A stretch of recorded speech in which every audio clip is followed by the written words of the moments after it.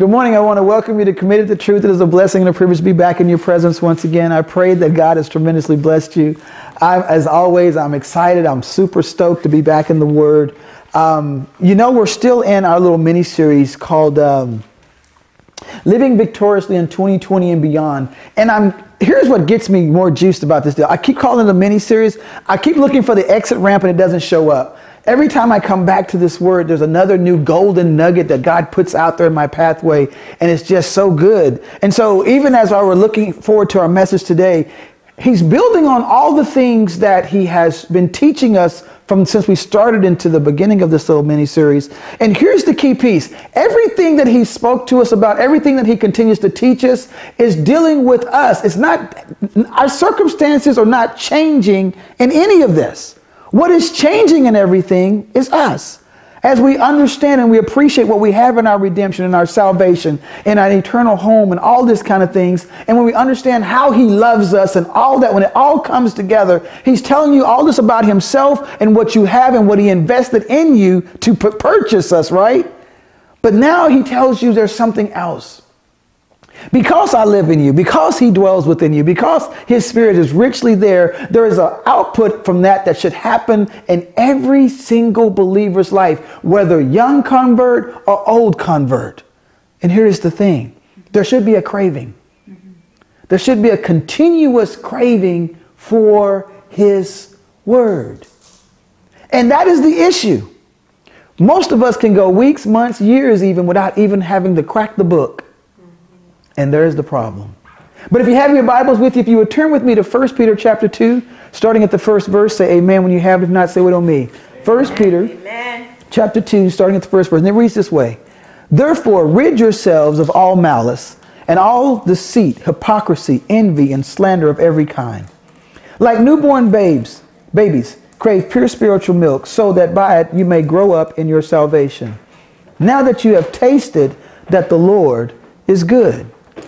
Let us pray. Father God, thank you for another opportunity to stand and be used in your service, Father, before going to the grave, Master. We, I thank you for these that pressed their way to be a part of this experience as well. So, Father, we ask now, Lord, if you would just fill me afresh in you with your Holy Spirit and that you would bless me to be able to rightly divide your word of truth before them. And Father, you are our master and our savior and our redeemer, and we'll be forever careful to always remember to give you all the praise, the honor, and the glory. And it's in your darling Son, Christ Jesus, mighty and holy name we ask it all. And the body of Christ says together, Amen, amen. and Amen. This morning's sermon title is called craving the word. Craving the word. And at the top of your outline, you will find these beautiful words to crave. And it says to crave is an intense, reoccurring, insatiable passion for something. To long for it or strongly desired with every fiber of one's being. And that's a crave, right? This is how you ought to crave the word in that same exact manner, right? Some of us crave food so bad that we'll get up in the middle of the night, risk life and limb to go get it because of a craving. But however times have you got up in the middle of the night and went down and thought you, you just had to continue to read and study in God's word? Does that happen often? Okay, I'm not going to mess with y'all this morning. But I do want to welcome you once again just simply say that God has blessed us tremendously, um, even in the midst of the challenges of our life. And so this morning, Peter is talking to the church about having a real craving for the Word of God. Do you know why we should have a real craving?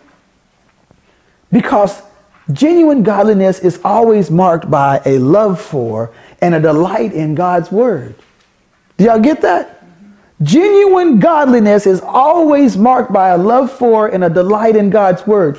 Jesus said it this way in John chapter 8, verse 47, he who is of God hears the words of God, right? And when he says the word hears, here it means to obey. And in that same chapter of John chapter 8, Jesus went on to say these words as well. True believers keep God's word. Okay? Paul expressed this love for and this delight in the word of God when he said these words in Romans chapter 7, verse 22. For in my inner being I delight in God's law in his inner being. He's saying, My inner man, this is what it craves. This is his delight, right? And then Paul, David says these things here in Psalms 19, verse 10. David says this The word of God is more desirable than gold. Yes, than much fine gold, sweeter also than honey, and the drippings of the honeycomb. Do you see how beautifully he's describing how rich and how wonderful it is to be in God's word? How many of you feel that way? You see, it is a basic characteristic of the believer to delight in God's word. And so I got to ask you the question the verses that I just read, do they express your heart? Is this the way you feel? Do you find your heart crying, Oh, how I love your word, God? You see, the word of God is, is it your delight? Is it more precious to you than silver? Is it more precious to you than gold? Is it more precious than, than the trips you want to take or whatever? You know what I'm saying? Is it precious to you? Because too often it's not precious. It's just something we do to check the box and say, I gave God some time. So I want to I want you to think about this question though. Because it is the question that is behind the text that is before us this morning. Peter says, like a newborn baby desires milk, so you should desire the word of God. In a sense, he's echoing the cry of the psalmist that there is to be in the heart of every believer the love of the word of God. Every believer is supposed to love the word of God. Why would we love it? Any answers? Because it is what feeds us. It is where the spirit comes from. It was the spirit was the inspiration behind having it penned.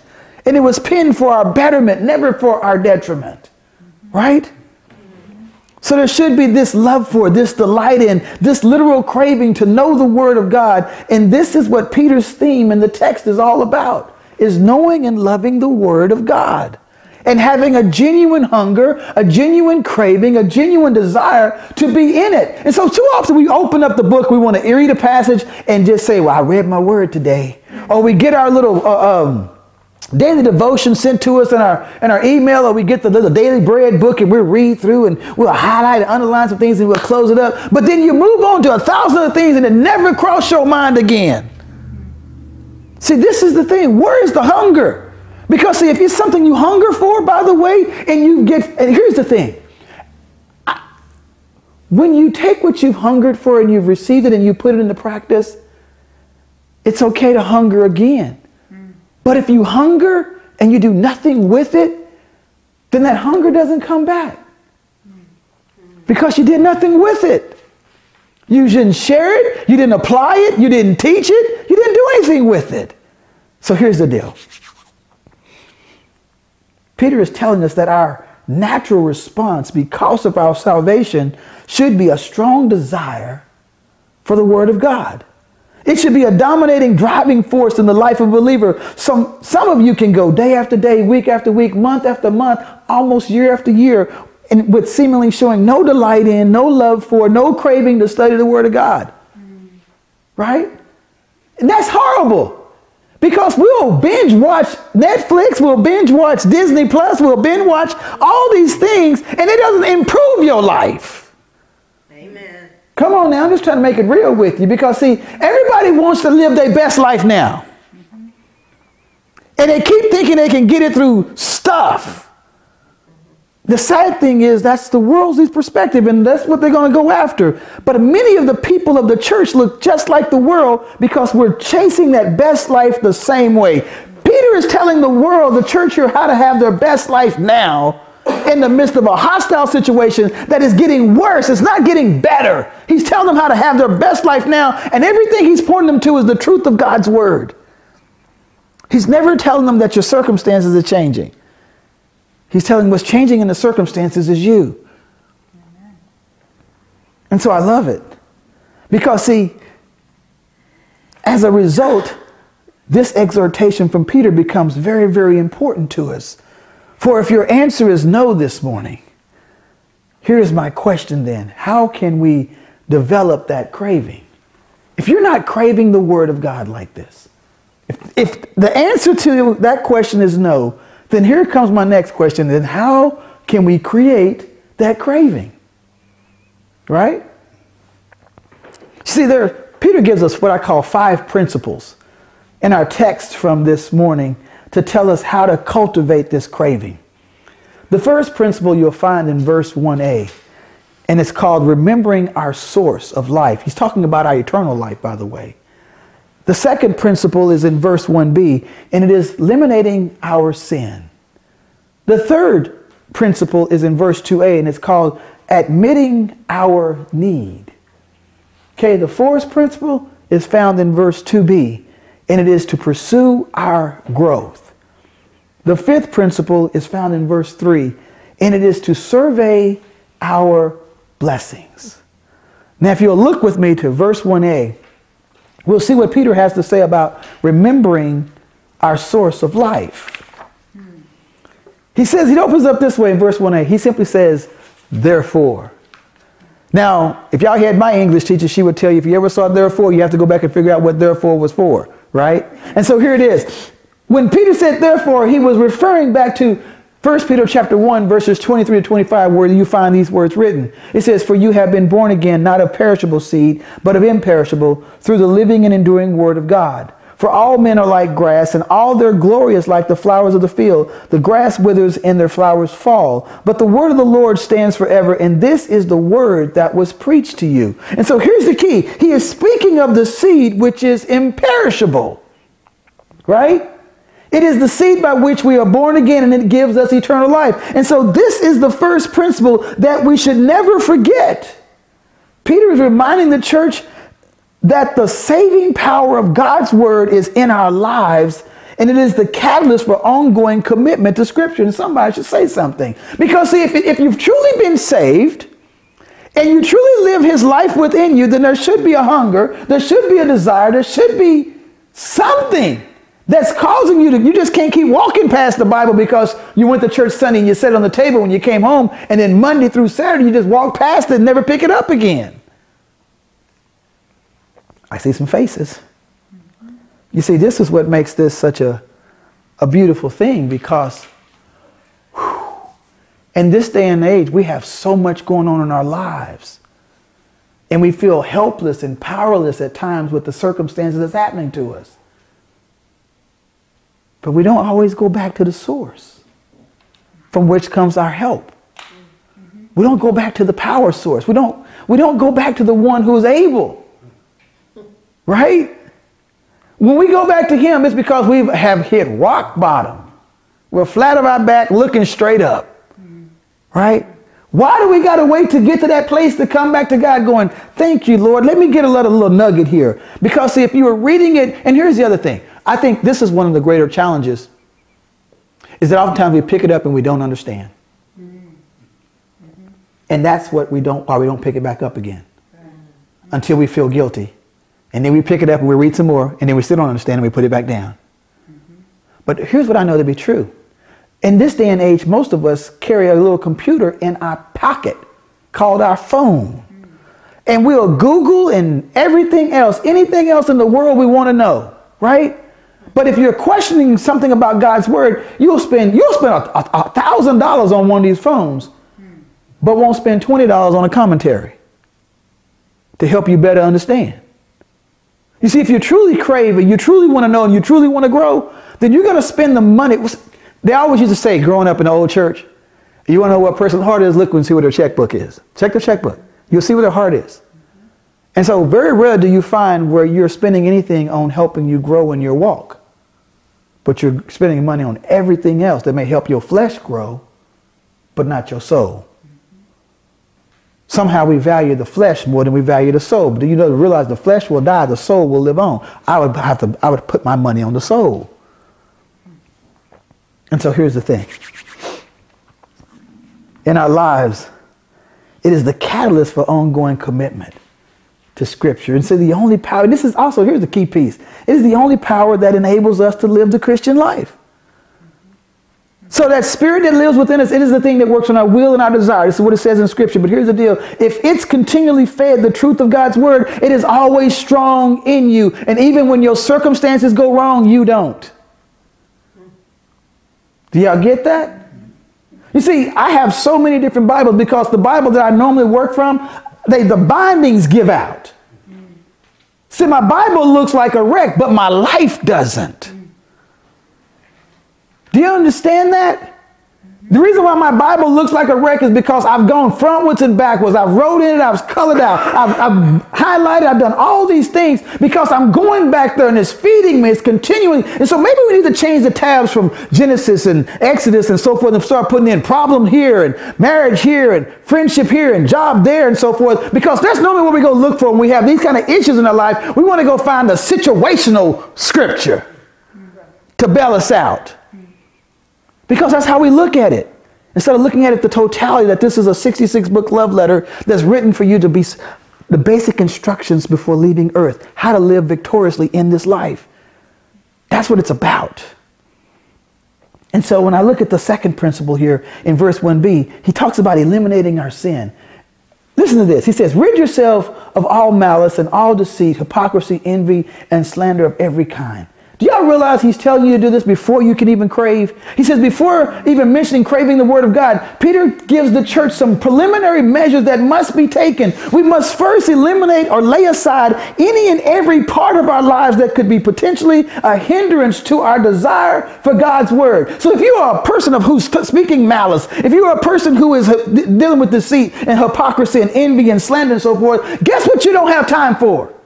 To crave God's word because these are all consuming issues of the world. Do you realize if you start speaking the word of God to somebody that you instantly people will start to run away from you? But if you start talking about slander, envy, deceit, malice, man, you don't you have more people you can hit with a stick. Because we're built for the negative and nobody wants to be around for the positive. It's quiet in here. It's okay. It's okay. You see, the phrase rid yourselves or laying aside simply means to strip off, to take away, to abolish, to do away with, to get rid or to remove. Somebody should say something. And it's a command, by the way. Do y'all get that? That's a command. It's not optional. The same idea is found in Hebrews chapter 12, verse 1, where it says, Therefore, as we also, since we are surrounded by so great a cloud of witnesses, let us lay aside every weight and the sin which is so easily ensnares us, and let us run with endurance the race that is set before us. Again, this concept is found in James chapter 1, verse 21, where it says these words Therefore, lay aside all filthiness an overflow of wickedness, and receive with meekness the implanted word which is able to save your soul. Do y'all see a reoccurring theme here? Okay, because it, it, it is interesting to note that James places the same premium that Peter does by mentioning the elimination of the bad before ever receiving the good. In both cases, it's the word of God. In both cases, that which is the good. So you can't receive the good. You know, there's a lot of little memes going on out now on, on social media where it says that uh, you can't speak evil of people and love God too. Yeah, that's one of the latest ones I saw pop up. You can't speak evil of people and love God too. Because there's some truth to that. Right? But you see, it's interesting to note that James and, and, and, and just, just, just says the same thing as Peter. And so here's the deal. Before my knees went bad, yeah, I used to run. Believe it or not. really? Y'all laughing? It ain't funny. But I ran track from ninth grade all the way through 12th grade. I probably told y'all this story before. And, and, and, whether I was running a short distance, like uh, it's 100 meters today, but back in my day it was 100 yards. Okay, I'm gonna keep it real. It was 100 yards. Okay, uh, I either ran 100 or I would run the 400. Right? But the thing was is this: is that I would have been an object of everyone's laughter if I showed up at the starting line with my boots on and my Levi's or my Wranglers, but more Wranglers. I'm gonna keep it clean, keep it real with you. My Wranglers and my boots and my hat. I would have been the object of everybody's laughter. You might say, why? Because you don't want anything in your way when you're trying to run that doesn't help you run. And my boots and my hat and my, and my, and my Wranglers were not going to help me run faster. So you need, I need to lay those things aside. I need to put them away from me because I want my maximum ability to get, ah, make it happen, right? And so this is the point here is that Peter is making. Just like I needed to lay aside the cowboy boots and the jeans before running the race, so you must put aside the things in your life that are going to hinder you from desiring God's word. And here's the funny thing. We know what those things are. Amen. Peter specifically mentions five things that can get in the way of our passion for God's word malice, deceit, hypocrisy, envy, and slander. Somebody should say something. Those five things right there, he's saying that we have the ability to put them away from us if you're in Christ. But if you're in the world, they stay with you. They're part of the package. You see, it's like an actor who wears a, a, a, mask, right? But let's break this down. Let's break this down. Malice carries the meaning of hatred, cruelty, and overall general wickedness. Deceit means dishonesty. It is deceiving, crafty, cunning, and misleading. Hypocrisy means two faced or insincere, especially talking about spiritual phoniness, right? Envy carries the idea of resenting others' prosperity. Slander falls under the category of gossiping. It describes someone who is seeking to defame another's character. These are things that he says that you got to put these things away from you. Because think about it. If these things are not found in your mouth, if they're not found in your heart, if they're not found in your mind, right, then only thing people experience from you is good things, isn't it? Only thing people hear from you about others is what? Good things, isn't it? How come? Now, see, now you're starting to see how you start to live your best life now, right? You're starting to see how you can live victoriously in 2020 and beyond. Because if you're not putting salt in the game or speaking down upon someone else's name, then the only thing that should be coming out of your mouth is something lifting them up. Somebody should say something. You see, by the wording used in verse 1, it is clear that this elimination is another step to craving the word. And it is a step that must be taken for the believer to fully crave God's word. Do you know we know more bad things about people we could tell folks than we do good? Come on now. We know more bad things about people than we know about good that we could tell somebody. You know, and that's the sad part. But let's go ahead. Now in verse 2a, Peter brings our attention to the third principle, admitting our need. He says this like newborn babies crave pure spiritual milk. And so, what does a newborn baby have to do with the Word of God? You might be asking this morning, right? Y'all looking at me. Y'all want to know what a newborn baby got to do with it? I see that look in your eye, your good eye. I can see it, right? the point Peter is making is this just like a newborn baby earnestly craves milk, so the believer should crave God's Word. You shouldn't be able to go multiple days or even a whole day without going, you know, Lord, I got to get back to your word. you see, the word crave means to an intense, reoccurring, insatiable passion for something. And oftentimes that describes everything in the world we want but him. Right? Let's keep it real. See, it's that kind of desire that we should have toward God's word. See, so could a newborn baby go a day without milk? Could it go a week without milk? Oh, okay, okay, okay. So, so the baby's greatest need in life is milk, then, right? And so the, the, the, cry for milk from a newborn baby is unmistakably, and it is persistent, and it is unyielding, and it is relentless, right? So then here's the thing it is that same kind of passion and hunger that we as Christians need to have for God's word. Same way. Many would like to think that he is, uh, when he talks about newborns, See, people read these passages of scripture without understanding. Don't want to go spend 20 bucks on a commentary, maybe, or, uh, or something like that to get a better understanding, a deeper understanding. Okay? Let me try to clarify what Peter means when he talks about newborn babes long for the pure uh, milk of the word. Many of you would like to think that he's talking about new converts, right? Okay? Others would like to think that he's talking about those who remain as spiritual babes in Christ. But here's the key Peter is not talking about any of those. He is making an analogy in this experience.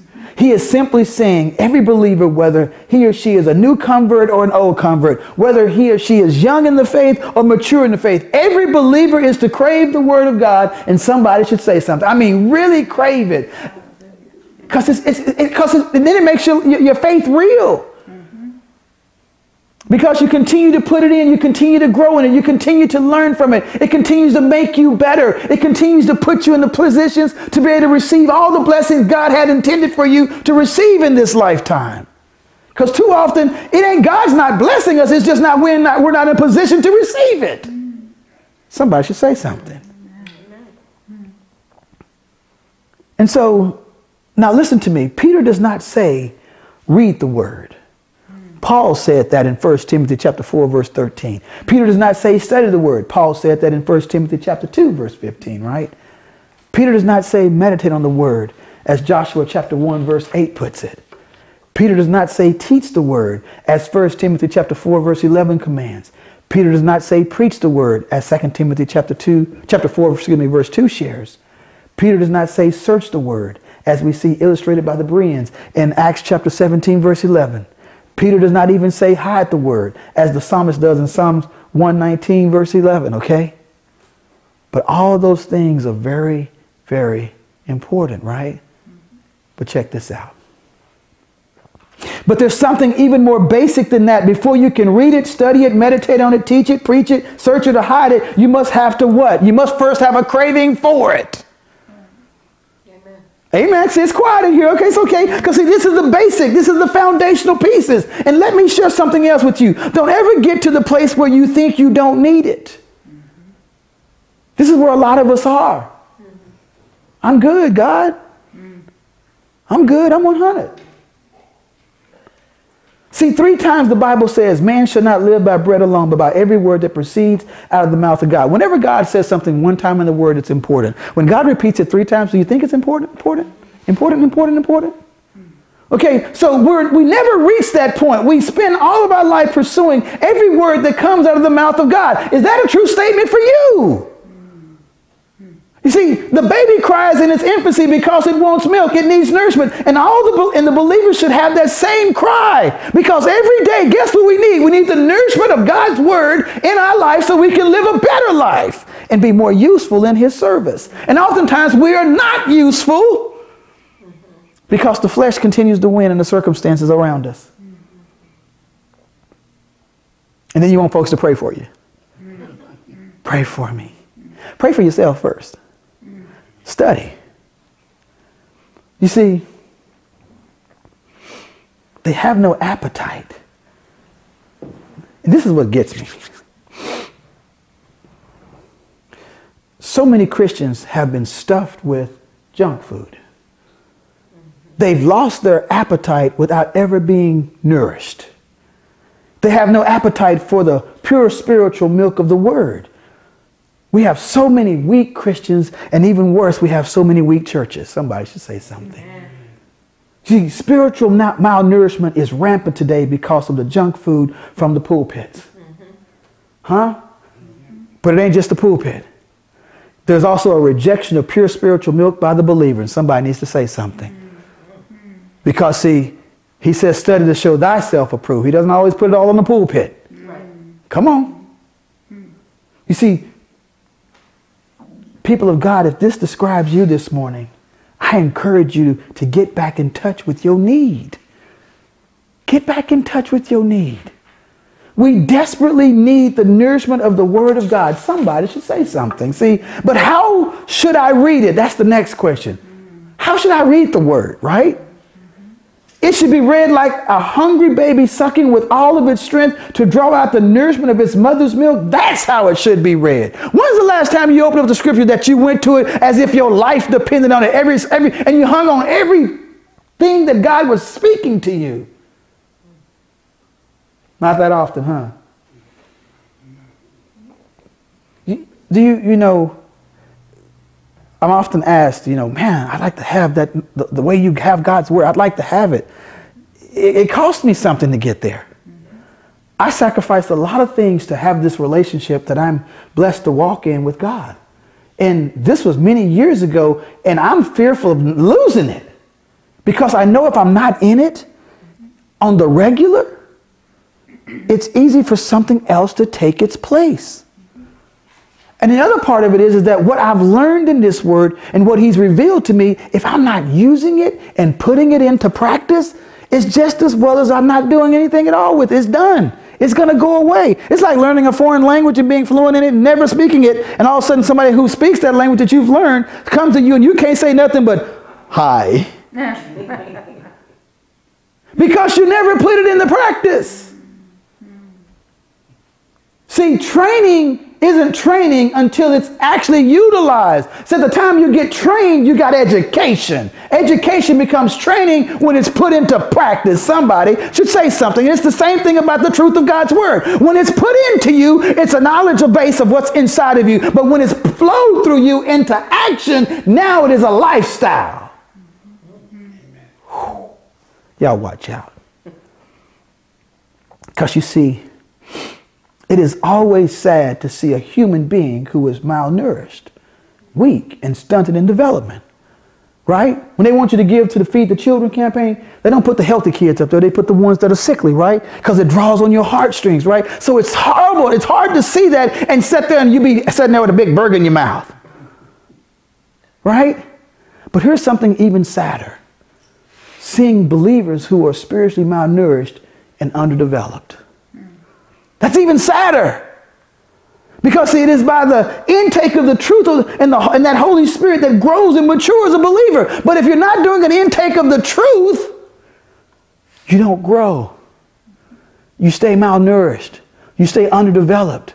You stay beaten down by your circumstances. Somebody should say something. But y'all realize that it's not an option if we grow. It's a commandment that we grow.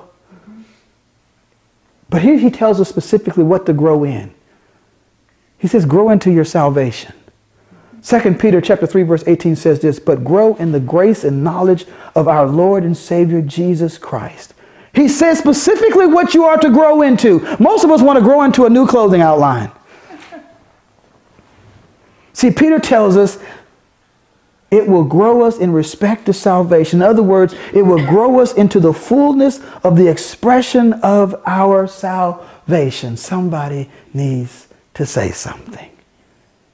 You see, it will grow us literally into salvation, into its fullest, full, final, glorious expression. And I must share this with you. If you are content with where you are spiritually, you will never grow. If you're okay, cool with how you are in your personal walk with God right now, you will never grow any further than where you are now. If anything, you're going to regress and go backwards. But if you're discontent, you will grow. See, our spiritual growth rises out of discontent. Did y'all get that? Our spiritual growth rises out of discontent. See, this is a very important principle. Spiritual growth rather than discontent. We are never to be satisfied with where we are spiritually. See, check this out. Listen to what the greatest Christian that has ever lived said. The Apostle Paul writes these words in Philippians chapter 3, verses 13 to 14. He says this Brethren, I do not count myself to have apprehended it.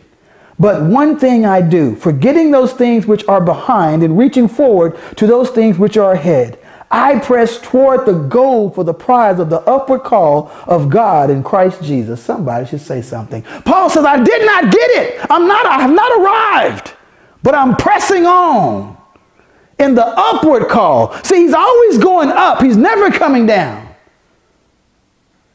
Amen. Amen. So let's close this. So pursue your growth. Don't ever become content. As believers, we should be motivated by the opportunity to grow strong and mature in Christ and to enjoy greater blessings. Do you know when you grow stronger and mature in Christ, you enjoy greater blessings because you're in a position to receive and maintain the blessings God is willing to pour out on you? But also, here's the other piece of that deal is that you also become more useful you will become more useful. God will send you in some pathways of some people and you will walk with them and you will be a shining light and you will put nuggets and seeds and planting it into a soil and helping them till it up and get all the things out of it that's not right and they'll start to take root and then their life will change and it becomes a living legacy. But let's get out. In verse 3, Peter now reveals the fifth principle to craving God's word, and it is surveying our blessings. Listen to how he says it. Now that you have tasted that the Lord is good. Do y'all get that? He's saying, survey your blessings. You've tasted God. You've tasted his power. You've tasted his deliverance. You've tasted his salvation. You've tasted his protection. You've tasted his healing. You've tasted his comfort. You've, you've tasted his protection. He's saying you've already sampled all these things. And you know that it is good. Survey your blessings is what he's telling you. So right now, finally, Peter reminds the church of something that they already know to be true. Namely, that their, their personal experience of God's kindness. Instead of God giving us what we deserved, he gave us grace. Instead of he gave us what we needed, he, he gave us what we needed. So that becomes key. The word tasted could just as easily be translated as experienced. And the word now could just as easily be translated as sense. And so you would read it as this Since ex- you've experienced God and you know that He's good. Right? See, that's the same idea found in Psalms 38, verse 8, where it says this Oh, taste and see that the Lord is good. Blessed is the man that trusts in Him. Blessed is the man that trusts in Him. Oh, taste and see. Peter's point is that we have all experienced or tasted the kindness of God. Mm. If nowhere else, we've all experienced it, his graciousness at salvation. Therefore, we should move, desire more of what of that goodness that continue to feed on his word. We should desire more of it. We should regularly survey the blessings of our salvation. Do y'all get that? Regularly survey the blessings? See, oftentimes we regularly survey the possessions we have. Mm. You know, I got some Louis and Deweys and some Gucci's and some, mm. right? We survey the, the, the items, but we don't survey the blessings. Remembering the many times that God has answered our prayers. Come on now. Huh? and all the times that he has touched our lives with kindness and mercy when we deserve justice, which would have meant death for us. So as we close, I got to ask you this. Do you really want that craving? And if you do, then put this message into practice in your life daily. Put it into practice in your life daily. And you will live not only victoriously in 2020, but also and beyond. Let us pray. Father, I thank you for another beautiful day. I thank you for this time and this opportunity to stand and be used in your service, Master. I pray, Father, that all that was shared here this morning was acceptable in thy sight. God, I thank you and just love you. I pray also as we get ready to go forward in this week, Lord, that you would continue to go before us, lead us and guide us, keep us in perfect peace until we should come together again. And Lord, I also I want to remember the Hawker family right now, Lord, as they prepare to celebrate in Paul Hawker's life. Um, I also want to remember uh, Lanine Dinsley and Paul Dinsley and family and so forth as they prepare to celebrate his life as well. God, we just thank you for just being who you are, being our great comforter and our, and our Father. And Master, we just ask these blessings in your darling Son, Christ Jesus' mighty and holy name. And the body of Christ says together, amen, amen. and amen. Love you guys. Have an excellent week. Take care.